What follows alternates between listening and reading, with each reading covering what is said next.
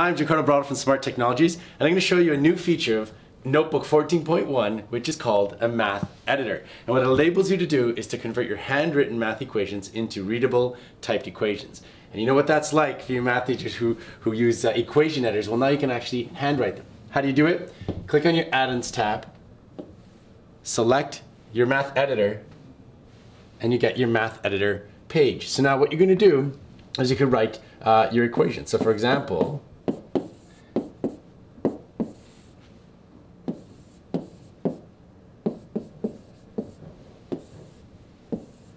I can write the quadratic formula.